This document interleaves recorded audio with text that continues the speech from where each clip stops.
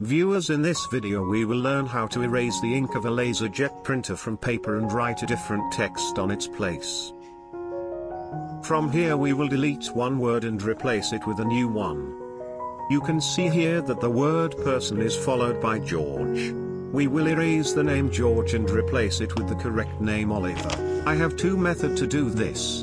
In this video you are watching method 2. Make a note of what you need to delete the name. You must first use a rubber eraser that children use to erase lead pencil writing. The number 2 you need a shaving blade, which we use to shave. We will use only these two things. Start erasing it. You must set it 90 degree angle. Don't place it at the angle of neither left nor right. Straight 90 degree should be. And then you have to start rubbing it. We are rubbing. Our writing is getting distorted from paper. Then you have to blow it. And then you will use a rubber eraser, which will terminate the waste.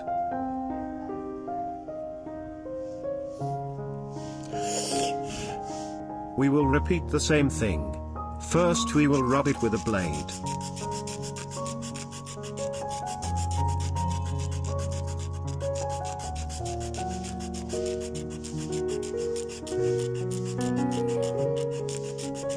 The ink will be erased from the paper surface. Ink waste will be there. And we'll blow it away. After blowing, we will rub it. Viewers this task is often some difficult for you to try. It can damage the paper. I'm showing you the whole video that I'm erasing. I'm not reducing any videos. So that you can learn the skill well.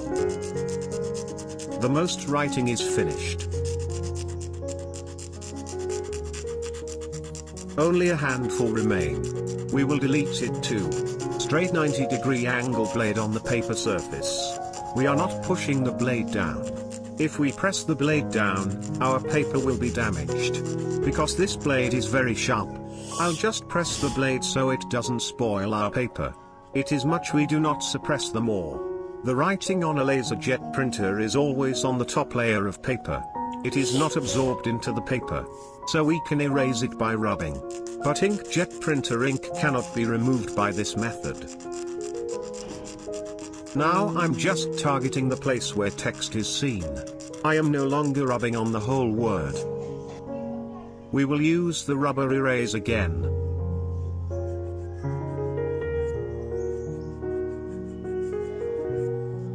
And we will blow it to clean. Now all the writing is gone except for these two or three points. We will no longer use the straight blade to erase these points. Now we will use only one corner of the blade. And we will only rub in one direction. We will not rub on both directions. We are rubbing but this point is not being erased. Let's keep trying. Don't force yourself on something that doesn't go away. Leave it at that. Don't waste your paper in the process of deleting. No problem if even a small mark remains. Because when we write another name later, this ink will come into that writing. It is now almost 100% clean. And there is no problem with that. Just look at it, it has been cleared in the best way and the paper has not been damaged in the slightest. George's name is gone. Now go to this web page by clicking a link is disruption. Here legal A4 paper sizes are indicated. Download the paper the paper size that you have. And open Adobe Photoshop and open this file in it. If you look inside it, you will see that it has numbers written on it. 1, 2, 3, 4 count like this. You can see the big numbers in pink color. If you go inside the subcell, it counts here again. Go to another cell, for example 38 to zoom in so that within the 1, 2, 3, 4, 5, 6, 7, 8, 9 written counting. Counting is in each cell. And also counts inside the cell's subcell. You have to just print it. Remember because we have the legal size page, from the printer settings we will select the legal size. And every time we will choose the legal. Now we press the print button. We put a page inside the printer machine. Our machine will print now. Wait.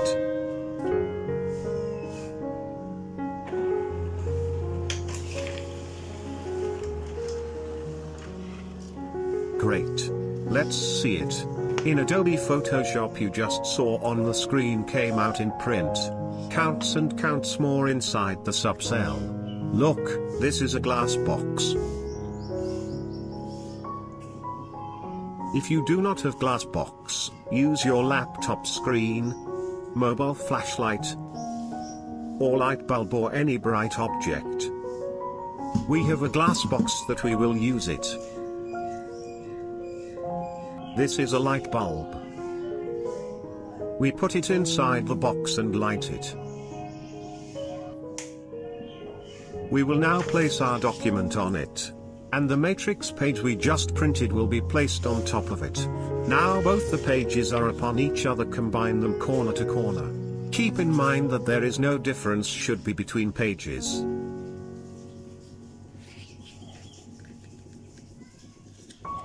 Now watch it carefully. Consider this place right here, after the word person, the name George was coming. We take a pencil, mark on this place. Make a circle on empty space. So that we can write a new name Oliver right in this place.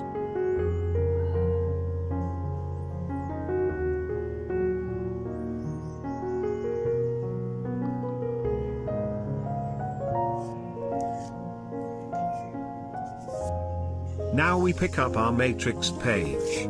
Below is our document. If we pick it up, there is only a bulb below. If you consider this thing, our writing comes in boxes 14 and 15. That box number 14 subcell 9 starting from, it goes to subcell 8 of box number 15. As you can see below, it starts with subcell 3 of box number 24 and goes to subcell 2 of box number 25. Now we will go to the computer and find the exact same place in Photoshop and write the new name. Let's go to the computer. Find the same cell you just marked in it. 14 and 15 above, and 24 and 25 below. Now make a box with the text tool, keeping in mind the subcell also. Text box is created. Now we will write the new name Oliver inside it. Increase the text size it should be according to our document. Also, make sure your font style is the same as the one used in your document. Its font style is Arial. If the font style differs from the document, it can be identified. Now I will move it to center. 7 is the middle of this place.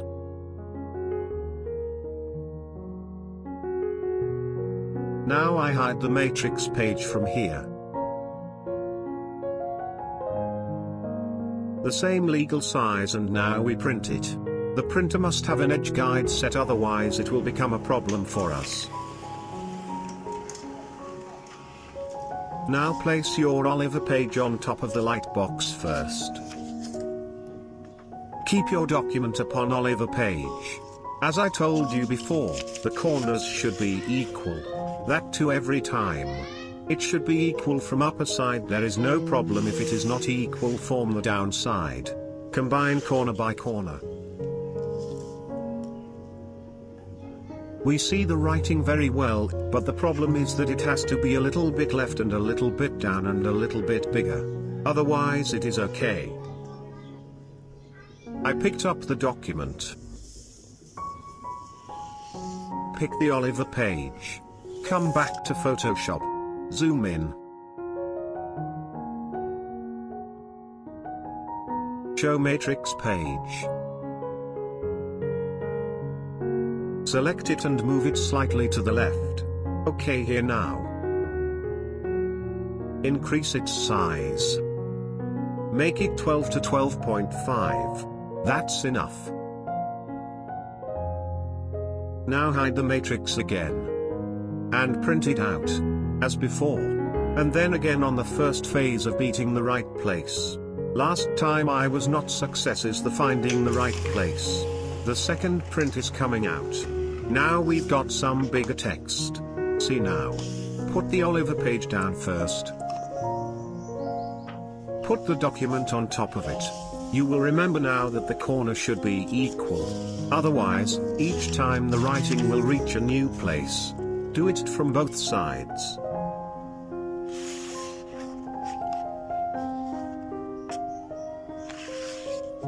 Now watch it again.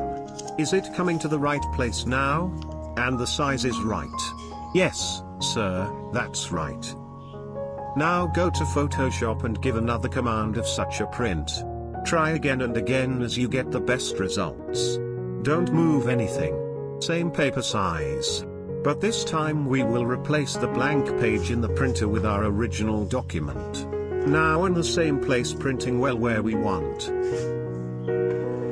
Let's see. We wait till printed.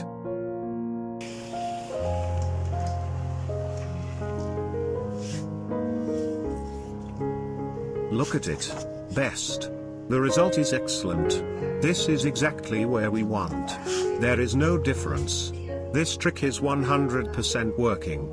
If you don't understood all of the steps at once, watch the video again and again. Until you understood. I would advise you to practice this with another paper first.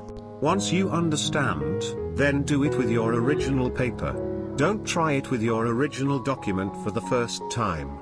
Because you may have made a mistake. Hopefully you will like this trick. Please like our work. Thanks.